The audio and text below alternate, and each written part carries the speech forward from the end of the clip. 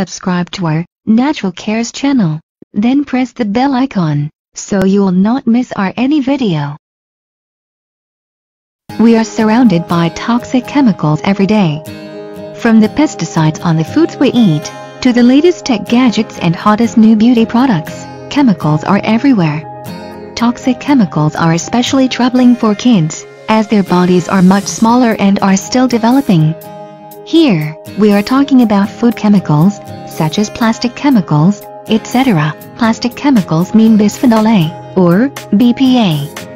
The plastic chemical or BPA are easily absorbed into our bodies, and have been linked to obesity, infertility, asthma, heart disease and cancer. BPA is a synthetic compound found in plastics, that has been linked with a range of health problems.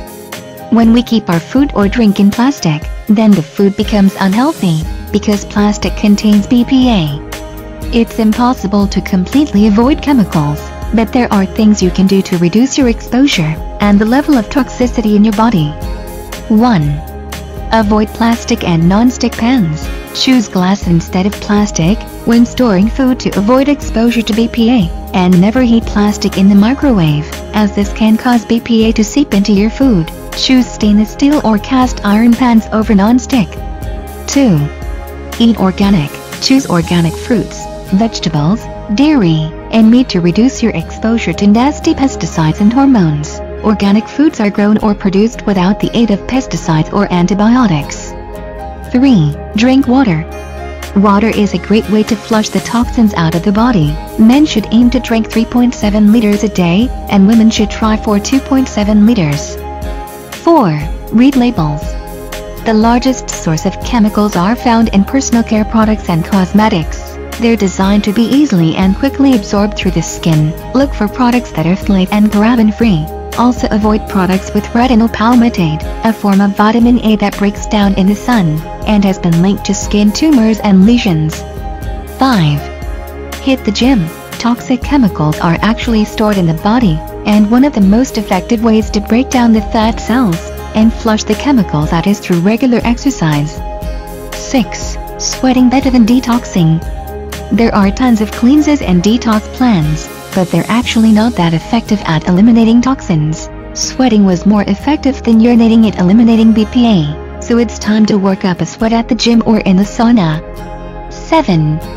Cut the saturated fat. A lot of toxic chemicals are attracted to fat. Once these chemicals are in our bodies, they enter our fat cells. You don't have to become a vegetarian, but try avoiding saturated fats, found in some meats and other fried foods. 8. Make your indoor air cleaner. We spend a significant portion of our lives in our home. So, our home must be pollution or toxic free. Look for paint, carpet underlays and flooring, with low levels of volatile organic compounds, toxic chemicals that can be emitted as gases from certain solids or liquids. Open your windows to circulate the air, and reduce exposure from this furniture off-gassing. Conclusion It's easy to make these products without these chemicals in the first place, but no one cares.